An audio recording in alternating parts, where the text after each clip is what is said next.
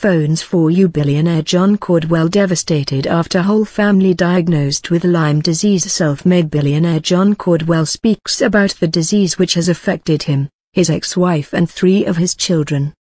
The billionaire founder of Phones 4u has revealed that his whole family have been struck down by the potentially deadly Lyme disease. Earlier this month John Caudwell told The Telegraph of his 20-year-old son Rufus's long struggle with the disease, which started with panic attacks, serious agoraphobia and a terror of sickness before being correctly diagnosed in February. Now Mr. Caudwell has admitted that he, his former wife, Kate McFarlane, and their two daughters, Rebekah, 35, and Rhiannon, 27, have all tested positive for Lyme disease as well. Lyme disease is a bacterial infection that can spread to humans through ticks. There are around 2,000 to 3,000 new cases in England and Wales every year. Symptoms can include a distinctive bull's-eye-shaped rash, but a third of sufferers will not get the rash and other symptoms can be difficult to recognize, like tiredness, muscle pain and headaches.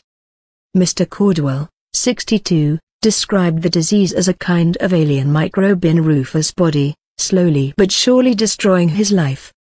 Now the rest of the family have discovered they are also infected with the debilitating illness that has afflicted Rufus for nine years and left him bedridden. It's completely devastating. I have no idea how it's happened to my family, Mr. Caudwell told the Daily Mail.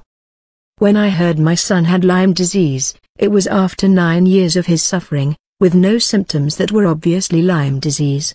It mimics other illnesses. Mr. Caudwell now believes the disease could be congenital or transmitted person to person and fears his relatives are not the only family suffering in the UK.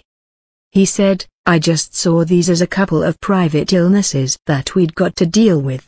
But then when more of the family got diagnosed, I started looking into it. It could be affecting millions in Britain, it could be an epidemic.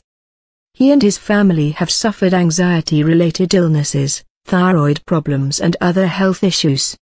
Mr. Caudwell featured on the BBC programme Britain's Spending Secrets in August, showing Anne Robinson around his vast residence in Mayfair, where he admitted the £90 million property had not brought him happiness.